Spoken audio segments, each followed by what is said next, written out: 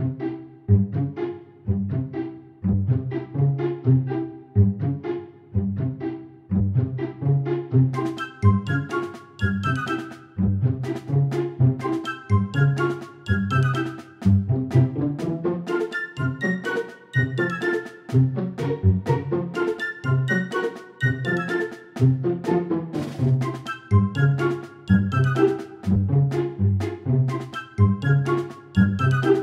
días. Hola, ¿qué tal? Hoy os traemos Globe Rochas.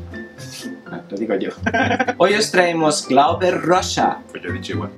Parafraseando la célebre frase del absolutista monarca Luis XIV, el Estado soy yo, a las cuales seguían, el bien del Estado constituye la gloria del rey, y finalmente en su lecho de muerte me marcho, pero el Estado siempre permanecerá. Antes de autoexiliarse de su Brasil natal durante el régimen dictatorial militar de 1971, Glauber dijo, el cinema nuevo soy yo. Un poquito de agua.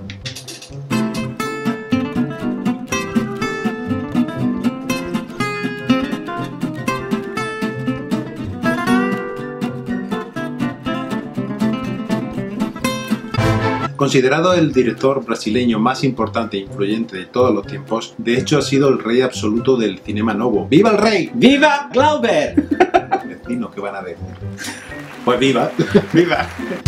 Trabajó como periodista durante varios años, llegó a estudiar algo de derecho y aparte de haber creado y desarrollado el movimiento Cinema Novo en Brasil, también dirigió obras de teatro, hizo crítica cinematográfica y participó en varios espacios televisivos. Desde muy pequeño le habían interesado el arte, el teatro y el cine.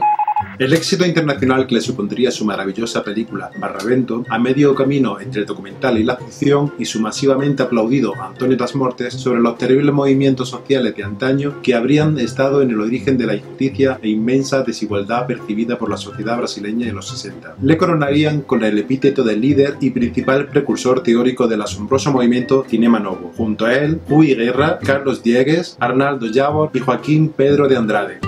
El tratamiento dado por Rocha a la simbología sincrética de su país, al folclore y al misticismo, a la mezcolanza de vicisitudes sociales fielmente recogidas en sus películas, a la justicia siendo tomada por las propias manos y los sentimientos a flor de piel adquiridos en la emergente ideología proclamada del mayo de 1968, le harían extremadamente popular en Europa y América. Su estilo radicalmente anárquico, ampliamente libertario y rebelde le llevarían a probar suerte filmando en África, en España y en Italia. No obstante, el enorme interés que había suscitado al inicio empezaría a decaer y terminaría por hacer unas cuantas películas que pasarían sin pena ni gloria. En todo caso, sus películas mantendrían su seña de identidad en las efusivas puestas en escena excesivamente teatrales y su estridente fotografía desgarrada y agresiva.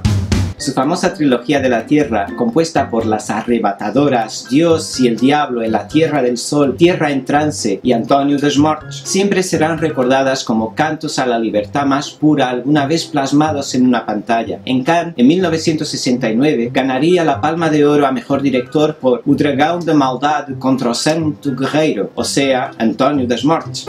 Impresionante como su actitud ante la vida, haciendo de polemista durante las 24 horas del día, sorprendente como muchas de las obras cumbre de su carrera, resultaría también el documental de Silvio Tendler acerca del director. En aquel, inclusivamente podemos dar cuenta de las conmocionadas multitudes asistiendo a su inesperado funeral. En 1981, Glover moriría tempranamente a la edad de 43 años, una complicada bronconeumonía agravada por la falta de defensas en Portugal. Sería trasladado por orden expresa de su esposa a Brasil en sus últimas horas de vida. Toda esta situación indignante daría pie a un acalorado debate sobre la posible negligencia por parte de los médicos portugueses que le trataron, que no le pudieron curar.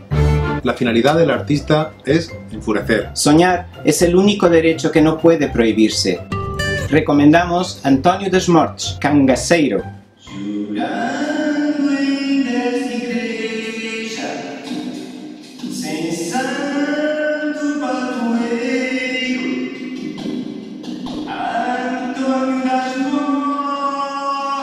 Jesus, Manda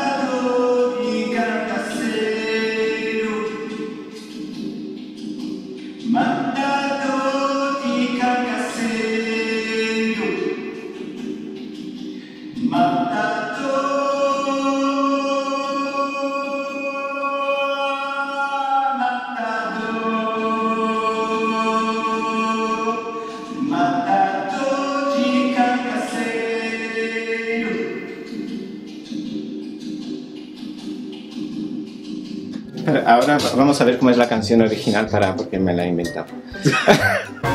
El Cinema Novo apoyó la utopía brasileña. Si es feo, irregular, sucio, confuso y caótico, es al mismo tiempo bello, brillante y revolucionario. ¡Chao! ¡Chao!